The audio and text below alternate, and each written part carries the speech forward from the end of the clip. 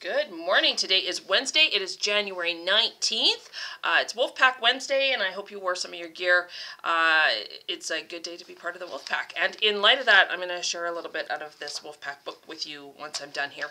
A couple of announcements. It is cold outside. We are going to have an indoor recess again today, but it is supposed to be better tomorrow.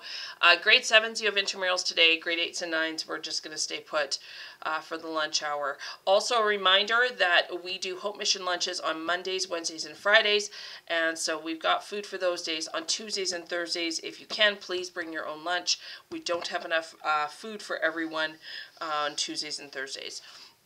Advanced fiddle will be in the in the room in the band room today at 2:45. So band room, fiddle, advanced.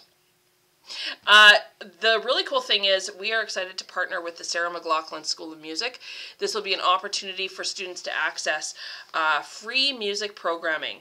The group lessons we offer are that they offer are voice, guitar, so acoustic and electric, piano, drums, electronic. Um, electronic music, bass, and ukulele. Transportation to and from the program, because the program is actually held downtown Edmonton. Uh, transportation is provided, and it starts in February, and it will be on Thursdays after school from 3 till 4.30 p.m. So if you are interested at all, talk to Mrs. Hunter, come by the office, get a consent form. Uh, we need your parents to sign off on that. So uh, totally free transportation there and back, and I think they feed you too. So uh, cool stuff happening there. Um, I think I said grade 7 intramurals today. Okay.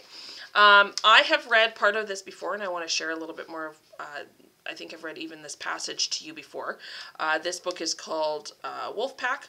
It's by Abby Wambach, who is a who was an international soccer player um, and she wrote this book and, and this book was actually a speech that she gave and so this section of the book is about leadership and i, I just it speaks to me it's a, a chapter that's called lead from the bench and so i'm going to just read this call to the wolf pack if you have an, a voice you have influence to spread if you have relationships you have hearts to guide if you know young people you have futures to mold if you have privilege you have power to share if you have money, you have support to give. If you have a ballot, you have policy to shape. If you have pain, you have empathy to offer. If you have freedom, you have others to fight for. If you are alive, you are a leader. So just want to challenge you all. Uh, you are all alive. You are all leaders, and you are all leaders in this school. And I need, um, I'm, I'm needing all of us to step into that space of leading and caring and, and showing compassion for our community. So uh, let's keep up the good work. Let's continue to be really, really conscious of how we wear our masks, that we're wearing them all the time, um, and that we're staying home if we're sick. Okay, so let's lead in that way. I love you all. Um, I really do, and I'm I'm super glad, um, super grateful for all of you that have been showing up, um, that are still well. So, uh, let's take care of each other and take care of yourselves, and I will see you. Have a great day of learning, everyone.